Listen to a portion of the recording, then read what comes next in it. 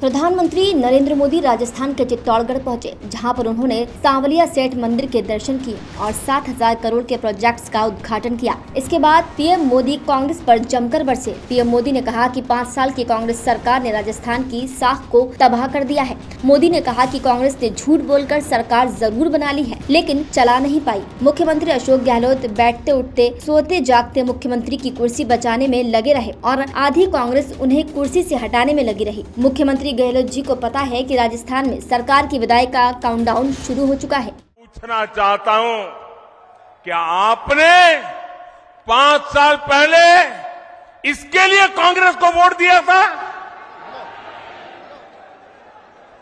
साथियों, राजस्थान के लोगों को भ्रम में डालकर कांग्रेस ने यहाँ सरकार तो बना ली।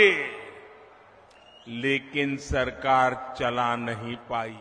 पीएम मोदी ने कांग्रेस पर निशाना साधते हुए आगे कहा कि दिल्ली में बैठे लोगों को भले ही भरोसा ना हो, लेकिन गहलोत जी को पता है कि सरकार जा रही है। इसलिए वो आग्रह कर रहे हैं कि भाजपा सरकार बनने के बाद उनकी योजनाओं को बंद न किया जाए। एक तरह से उन्होंने भाजपा को बधाई दे दी है। गहलोत जी का धन्यवाद, क्योंकि आपने पराजय स्वीकार कर ली है। आपने ईमानदारी ऐसी स्वीकार कर लिया है तो मोदी आपसे अनेक गुना ईमानदार है। मैं विश्वास दिलाता हूँ की आपकी शुरू की गई जनहित की योजनाओं को भाजपा सरकार और अच्छा और बेहतर बनाने का प्रयास करेगी। ये मोदी की गारंटी है। जिन्होंने पैसा लूटा, भ्रष्टाचार किया, गरीबों को परेशान किया, उनके खिलाफ कार्रवाई ज़रूर होगी। आपको बता दें कि पिछले सात दिनों में पीएम मोदी का राजस्थान का दूसरा दौरा है। इससे पहले पीएम मोदी 25 सितंबर को जयपुर में भाजपा की परिवर्तन संकल्प रैली में शामिल हुए थे और कांग्रेस पर जमकर हमला बोला था। डेस्क रिपोर्ट, मुंबई महानगर।